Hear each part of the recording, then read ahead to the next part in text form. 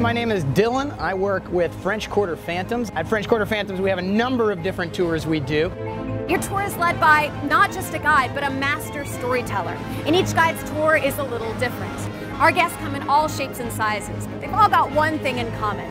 They want the best tour in New Orleans.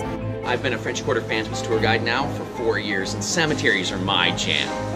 St. Louis Number One Cemetery is one of our most popular tours. It's the oldest continuously operating cemetery anywhere in the United States. My name is Angela Joe, and tonight we're going to be exploring the city through ghost and vampire tours. The tour is really set up to talk about some of the lore that comes from over 300 years of history. We're going to see some historic locations.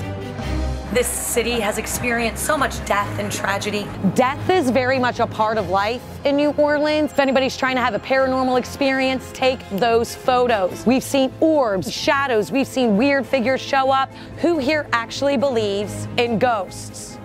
Awesome. And the rest of you are like, no, absolutely not. But walking and drinking sounded awesome.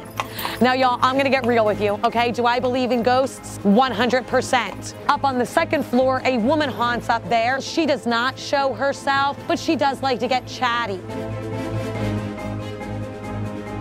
We also do a music tour, tours of the historic Treme. We have a number of other cemetery and history tours. French Quarter Phantoms has received numerous awards. We were voted top 10 in the world for ghost tours by TripAdvisor. Very proud of that.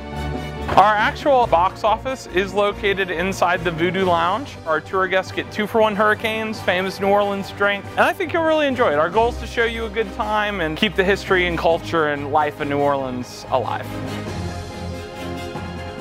Lots of spooky stuff, lots of crazy history to talk about here in New Orleans.